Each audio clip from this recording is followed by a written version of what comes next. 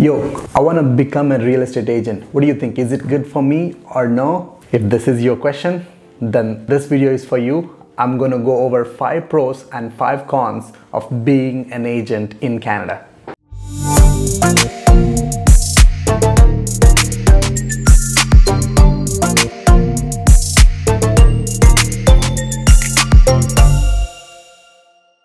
Namaskar, Aditya here.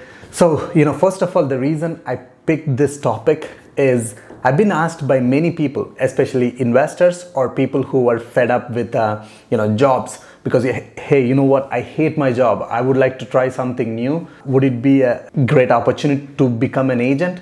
Or some investors who are like asked me, hey, you know what, do you think uh, would you recommend being an investor become an agent so now i can keep all the commission whenever i'm buying and selling so if this is your position i really think you must know all the pros and cons of becoming an agent before even you start writing you know start taking the exams because exams are freaking huge process you spend a lot of time hours and hours to get the license first of all and a lot of money like I didn't see the recent exact amount, but roughly over 7,000 for getting the license. And then for keeping the license, you pay board fees and you pay uh, brokerage fees, you pay board monthly fees and other stuff. So at least you will be spending over 10,000 every year to carry your license. So, you know, if this career is not good for you, you just wasted all your time and uh, money. So that's why I would strongly recommend stick till the end and ask me questions if you have anything you know specific that I haven't covered in this video or anything that related to the sales. I'm more than happy to help you. Only favor I would ask is hit that thumbs up button. So let's start with the cons because you must know first what's bad about being a salesperson. So number one con is you know there is no fixed income because this is purely a sales job so that means only you get paid whenever a transaction is firmed up and the transaction is closed so a buyer purchase a property from the seller if you're helping the seller or the buyer you get paid like you're the last one to be get paid once the transaction is ended the lawyer takes money from the buyer and give it to the seller and the seller lawyer pays to the brokerage and the brokerage pays to you. That means you're the last one to be get paid. Again, there is no way to determine how much money you're gonna make. Number two, there is no fixed hours. So basically, I would say just be prepared to be working like more than 10, 12 hours a day, especially if you're new, like I literally worked in my first year, maybe sometimes even 16 hours a day and no weekends. I worked again. Would it have to be like that? Not really. But the thing is, uh, in reality, initially it has to be like that because you have to work freaking hard. That you have to learn so many things. So that means you will have to spend hours and hours. And number three, no one is there to guide you. If you are working in a company, you will have your boss to tell you what exactly to do. If you are investing, all you need to do have is money and a knowledge about what you want to buy. But whereas the sales, here, yes, you have brokers, but the thing is technically they don't guide you in every step. They don't tell you what to do because they have their own business to run. Maybe they have some training courses. Of course, you know, the training and all those things are helps, but at the end, who is the one gonna pick their time? So there is no fixed timings in this here, right? So you're gonna go sit on your computer, say, okay, these are the hours I'm gonna work, these are the things I'm gonna learn. So it's pretty much everything has to come from self motivation because literally, trust me, even if someone promise you that I'll have your back, I'll, I'll make sure you know what you're doing and all those things Trust me, that's not true. Because at the end, a salesperson is an individual who is running his own business. So, just FYI, make sure you prepare your mind. Number four, sales is a lot of emotions. Let me break it down what I mean. So, every transaction involves so much emotion. So, buyer, he's spending his hard earned money, which is like, you know, hundreds of thousands that means he's tensed, he's, he's scared. Sometimes his mind shifts. So now you being a professional, you have to guide the process. Seller, same thing. Seller, oh, you know, he lived in the house forever and now he see that all the other properties are selling like X amount and they want that amount which the other neighbors sold for and whereas the property is not that great and has so many things that need to be fixed to get that price but you gotta be as a professional now willing to take both sides and you know understand their emotions and also like you know you're dealing with other agents you're dealing with the broker you're dealing with the paper. So so much emotions carried around.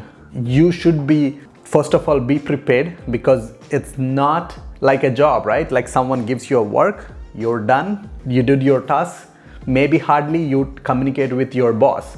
But here you're communicating with the seller with the buyer with the buyer agent with the seller agent with the broker lawyer inspector mortgage broker so so many people you need to communicate with. That means so much emotions involved in the transaction. So you got to be a people's person. You got to understand or you got to be willing to learn how to communicate how to carry yourself even during this kind of emotions. And number 5 in real estate freaking no day is same so literally one day you could be just showing the property or you could be listing the property. One day it could be like just negotiating. One day you're you're doing all the paperwork. So there are freaking so many things in this transaction in, in this real estate career so no day will be same if you're a person like hates to have uh, you know different things every time different tasks doing different tasks every day then this career is not for you so now you know what are the cons but trust me, there are super solid pros as well because that's the reason why I'm an agent and I enjoy being an agent. Of course, there are times where I felt like, what the fuck, where am I? Sorry, uh, forgive my words, but I was in that situations too in this my last one and a half year journey. But definitely, I'm not gonna leave this career in at least in next five years. I love this. I love what I see. So first of all, the reasons is the reason number one this is a career where you have no limits when it comes to making money. Because if you're working as a in a job as an IT guy or a sales manager or whatever any specific job in a company you have a limit. Probably you will start with 50000 per annum. You grow to 100000 maybe 150000 maybe 200000 that's there is a limit whatever your big boss makes that's what you're to make but in this career, as an agent, I have seen many people make million dollars a year, two million a year, and of course, people make hundred ten thousand a year. So it really depends on how you position yourself. But you have that limit. I've been only one and a half year as an agent. Guess how much I sold? Let me know in the comments below your guesses. I freaking sold close to half a million so far. My GCI, my GCI, like before taxes, my gross commission is close to half a million in one and a half year. And already like three months were COVID time. So if I was in my previous job, my annual income was 80,000. That's before tax as well. So that means in order for me to make 500,000 in a one and a half year, maybe I would not even consider one and a half year because three months COVID already screwed up. So minus that three months, it's one 15 months. I would have made 100,000 in my job. Whereas as a real estate agent, I made five times of that. Now that's not just ending, it's a beginning. I just started being a real estate agent. So that means I see there is a lot more potential because you know now I have a bunch of clients now, if whoever loves my service, they're to refer me more clients and I'm to, you know, do more transactions. And now I have a team. No limits to making money. But you got to be self-motivated. You got to be willing to learn so many stuff. Number 2, another awesome freaking pro with being a real estate agent is you don't need prior skills. I'm a new immigrant to Canada. It's been only 8 years I was the IT guy, no sales background. I was still making money. Of course, not everyone can do that, but everyone who is open minded to learn and execute what they learned, they're gonna make it.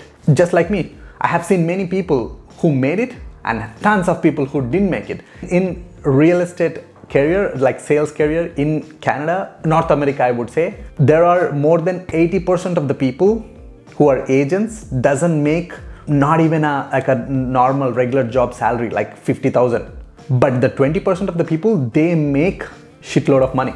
So it's pretty much you willing to learn the skills. So no matter where you are standing no matter what you have it's pretty much are you willing to do? Are you open to learn? Are you teachable? Then you can make such an awesome career. Number 3 lot of tax benefits so right now, still the Canada, Ontario, they're in the process of making the real estate has a like a corporation too. Like we can open a corporation, self and self corporations. But at the moment, still you can write off your car payments, you can write off your gas payments, you can write off all the dinners that you go, you can write off your office. So any expenses that are related to your sales, you can write off all those things. Whereas in the job, even though you travel every day to your job, it's not write off. Eh, even though you have your own house, you cannot write off, even if you're working from home. But whereas with the self employed, now I work from my office and I can write off some of my mortgage payments. I can write off some of my utility bills. I can write off some of these things, right? So, a lot of tax benefits. Of course, I'm not an accountant. Don't just rely on me. Talk to your accountant for detailed information I'm just giving a, a random guy giving a like top overview of uh, taxes.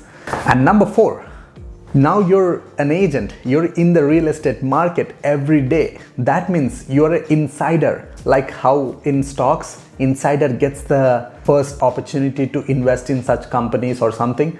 You, you will be presented with opportunities first and then other people because they're insiders. Same thing with the real estate. When you're an agent, now your day to day is all about how is the market doing? What kind of you know situation we are in? Is it sellers market buyers market?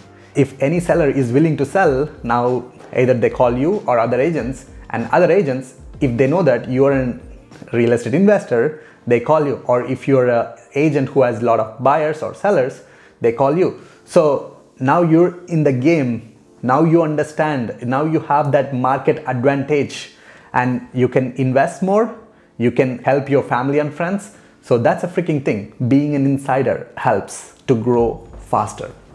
Number five, this is my favorite one because when I was working in IT, all the tasks that I get, I hate to do some of them. So I was a programmer, right? Like I was like a full stack developer where all the websites that you see, there are so many people involved who does those websites. Like some people will do the graphics some people will do the front look and feel some people will do the back end uh, coding. So i was like a full cycle developer and i hate to do front end but i cannot do anything. I have to do that work. But here being an agent now i hate paperwork and that's where i delegated my work to my wife. I hired my wife and i, I hate editing and slowly my wife started to hate editing. And she's doing fantastic job but she was like not passionate about it. So we slowly delegated to another editing company an awesome company that my friends running. So delegation any task that you hate to do you can delegate. It's just you need to learn how to do it. But that's a freaking to- cool thing. Now you can buy back time by delegating the things that you do hate to do. Now you're a boss of your company. You just need to learn the basics solidly and then slowly delegate the things that you hate and then do the things only that produce solid results and only things that you really love to do. So that's a really advantage being a, an agent.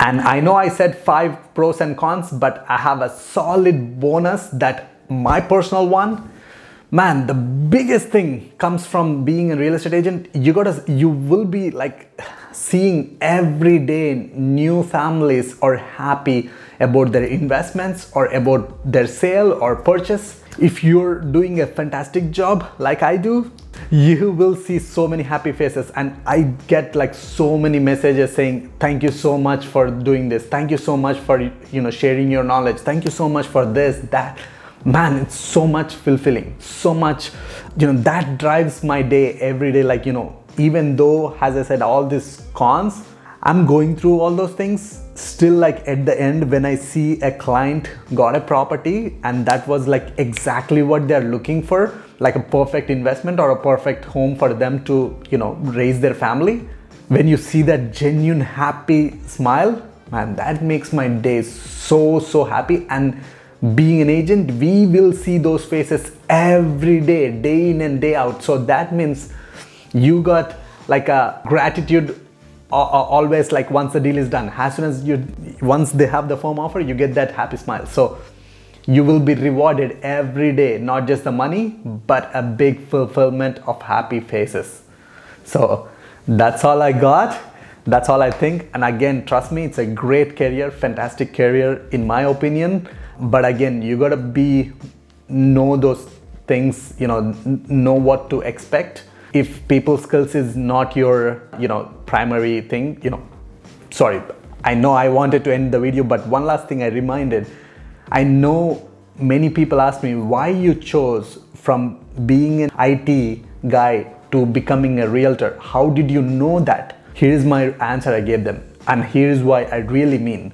First of all, I know myself. I know I really enjoy working with people, not on the computer. That's my inner strength. I think it's just my personality I got from my dad. He loves talking to people, he loves helping. That's exactly what my personality is. So I knew my personality. That's why I risked my career. It's a big shift, but because I knew my instincts, I knew what I am, I made the career shift. So same recommendation I would give you. If you know yourself better, you know that after hearing all these things, if you still feel that this is a perfect career man, let me know in the comments below. I'm willing to help you if you need anything. And uh, with that, thank you so much for sticking till here. I know for sure if you heard my last word till here, that means you gonna rock being an agent. I love to see your name in the comments and stay tuned. Don't forget to hit that thumbs up button. Have a wonderful day.